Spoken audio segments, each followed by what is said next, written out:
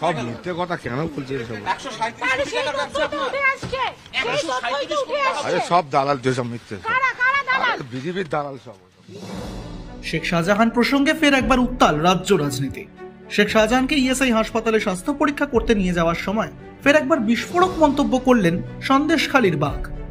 তিনি বললেন যে এবার সবই বিজেপির দালালের কাজ। যদিও এর আগের দিনই রাজনৈতিক ষড়যন্ত্রের অভিযোগ তুলেছিলেন শেখ শাহজাহান, তবে এবার সরাসরি পদ্ম শিবিরকেই আক্রমণ করলেন শাহজাহান।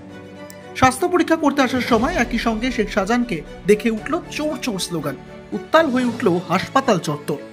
জোকার ইএসআই হাসপাতালে নিয়ে যাওয়ার আগেই শাহজাহান বিজেপির বিরুদ্ধে অভিযোগ তুলেছেন আজ সবকিছুই মিথ্যে।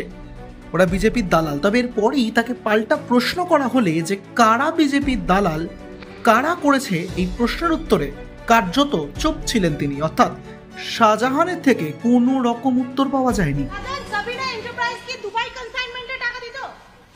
দুবাই একশো কনসাইনমেন্টে সাঁইত্রিশ টাকা কোটি দিত। টাকা। আরে সব মিথ্যে কথা কেন বলছে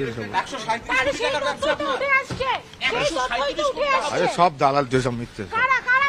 বিজেপির দালাল সব বিজেপি রাজনৈতিক ষড়যন্ত্র কারা করছে শাহজাহান? ব্যুরো রিপোর্ট এক ঝলকে কলকাতা।